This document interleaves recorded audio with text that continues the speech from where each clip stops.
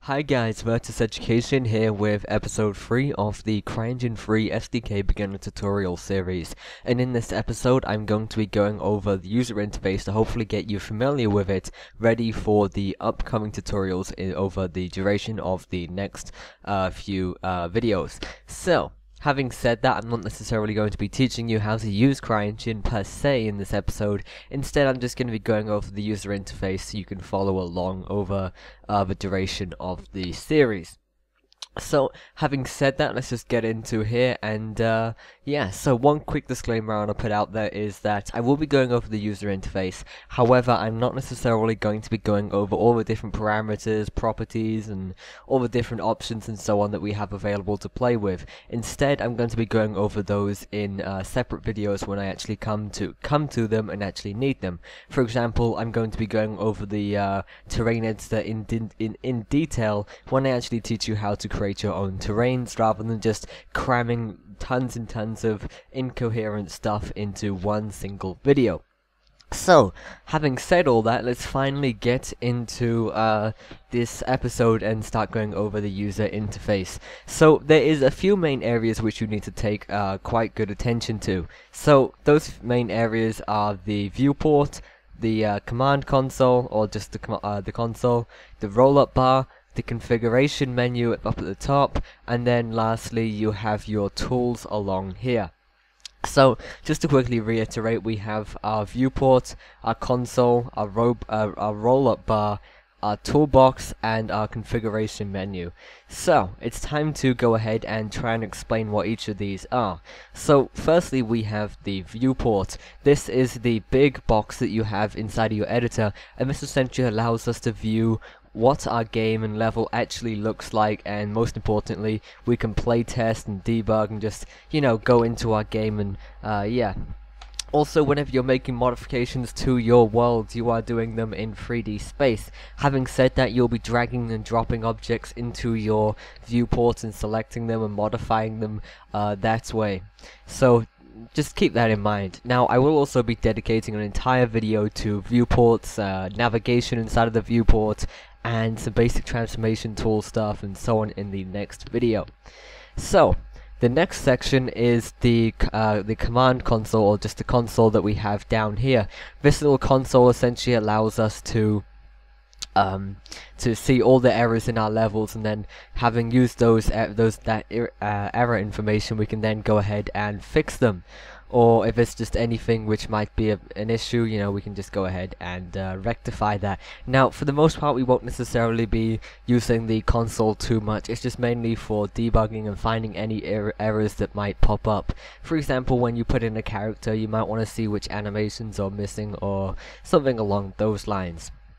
So the next is your uh, tools over here.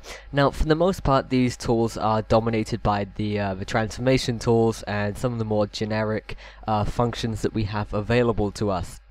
So, having said that, we've got our undo and redo up here, and then next to that we've got our transformation tools. These transformation tools essentially allows uh, allow us to translate uh, items, so that translation being uh, moving them in 3D space, whether it's just up, down, left or right, or we can rotate them, and we can also choose um, like the axes which they go on and whether or not they stick to a certain object. For example, we can make these objects stick along the terrain or terrain and objects and so on and so forth. I do greatly advise that you check out some of these um, different things that we can play around with here. The transformation tool stuff is mainly on this line here, so look into it, play around with it, experiment, do whatever you like.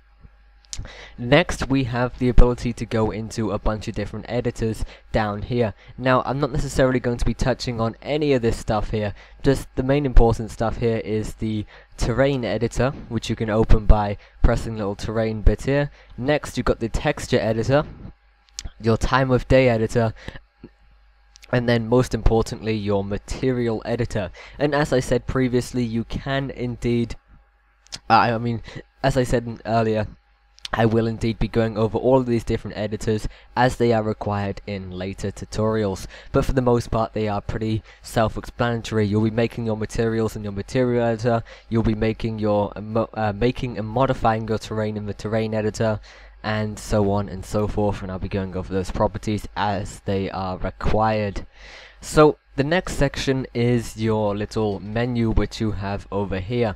Most of these I have the generic uh, functions available to us, you know, file, new, open, save, and so on and so forth. However, we also have the option to uh, configure and play around with some different settings for the editor itself uh, in um, relativity to certain objects. For example, if I was to go to a group go to the group bit, I can then just group certain objects, or if I go to the terrain section, I can edit my terrain and any other properties that might be somewhat uh, related to terrains. For example, I can resize it, I can reload it, and then a few environment settings, but those aren't important. And uh, for example, if I go to sound and so on and so forth, just go ahead and play around with some of these, whether it's just some of the generic functions like file, new, open, or terrain, sound, AI, or even the configuration ch uh, settings, changing the quality uh, that you view stuff. For example, changing from PS3 to uh, sketch mode or whatever you like. You know, just play around with some of these and see what you can do with them. So, once you've had a quick experiment and so on and so forth, whether it's any of the stuff I just listed, you know, just uh, let's go on and move to the next and most important section. That most important section being the roll-up bar. Now, you will be using the roll-up bar quite a fair bit over the duration of the series. These, uh, this roll-up bar actually has a bunch of tabs which allow us to modify certain uh, types of items.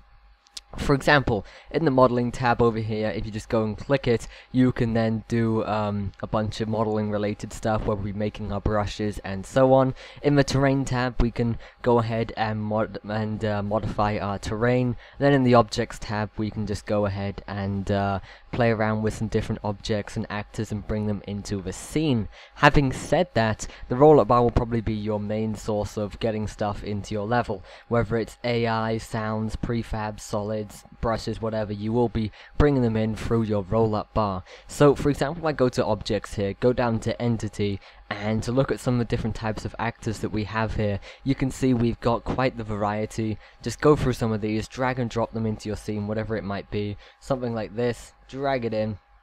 You know, that's essentially what we do with our roll-up bar will be uh, dragging in objects from there we'll be then modifying them using the terrain and objects tab. Now there is a few other two tab there is a few other tabs which you can uh, play around with. There is the layers tab. I don't necessarily need to explain what layers are. It essentially just works like any other uh, package with a layers system in it. It allows you to group uh, certain actors and objects into uh, a group and then modify them globally or you know just do it in a slightly more organized way and we've also got some display settings so we can turn off things like fog, de decal textures, the ocean, particles, blah blah blah, you know all that stuff.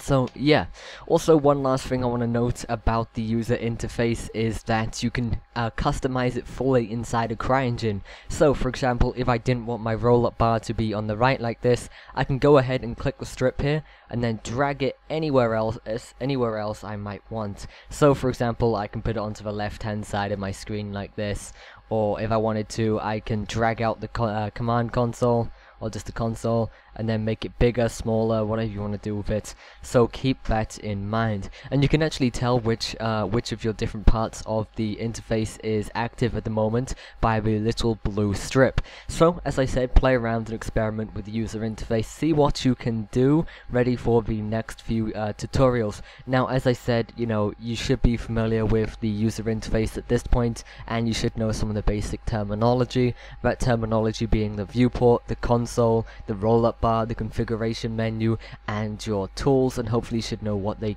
uh, what you can do with them. So, I will see you in the next video, comment, like, and subscribe. If you need any help, make sure you check out documentation, and I will see you in the next video. Goodbye.